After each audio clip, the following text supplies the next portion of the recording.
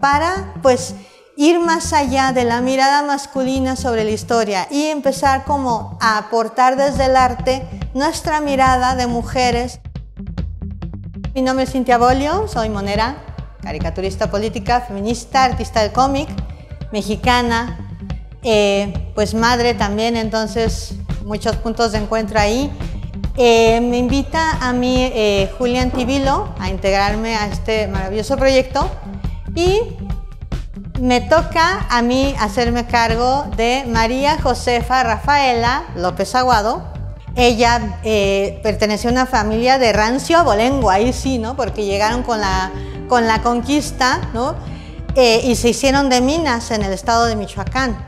Siendo mujer la destinaron al matrimonio muy joven.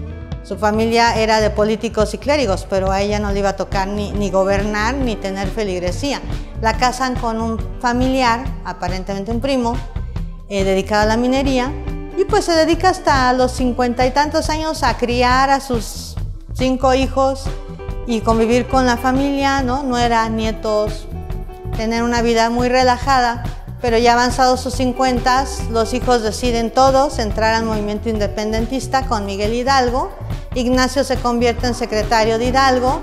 Y bueno, a ella la conocemos por esta circunstancia muy curiosa, ¿no? Los libros de historia patriarcal le atribuyen una, frase muy extraña que eh, dice, prefiero un hijo muerto que un traidor a la patria.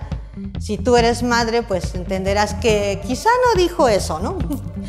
Eh, a ella eh, lo que le ofrecían los realistas que atraparon a su hijo menor, a Francisco, es que entregara a todos o fusilaban al menos. Obviamente, pues debió ser un golpe tremendísimo en su vida.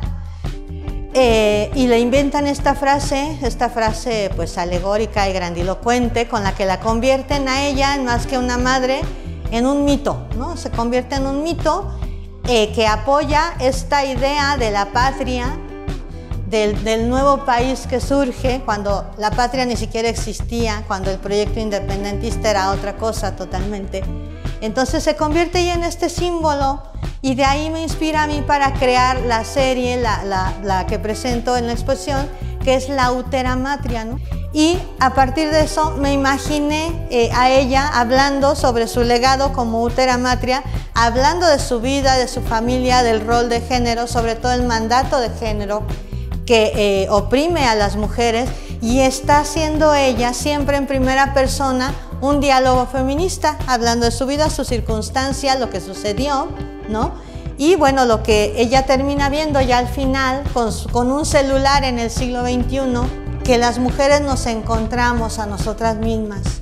Y sobre todo hacer los rescates históricos. Y sabemos un poquito más de ella, de Josefa, de Ignacia, etcétera, es gracias a las historiadoras feministas. Se invita desde luego a que empiecen el recorrido del lado izquierdo con el título de la pieza, que es el legado de la Utera Matria, y empiecen la lectura del cómic, continúen y terminen. Aquí hay una pregunta que yo le hago puntualmente a señoras, mujeres, morras, niñas, adolescentes que vean la pieza, qué se imaginan ellas, cómo revolucionar este país en este siglo XXI, de qué maneras. Y el añadido es esta pieza de, esta escultura blanda, que es de cartonería, que es una representación como nuestro útero siempre está eh, bajo la mirada, bajo el escrutinio de la sociedad en un mundo patriarcal. Pues las hice con mucho amor, ¿eh? me tardé semanas y semanas y semanas haciendo las acuarelas sobre todo para que se expusiera tal cual, ¿no? Las obras originales aquí en el España y pues yo súper honrada de participar nuevamente en esta hermosa exposición Emancipadas y Emancipadoras.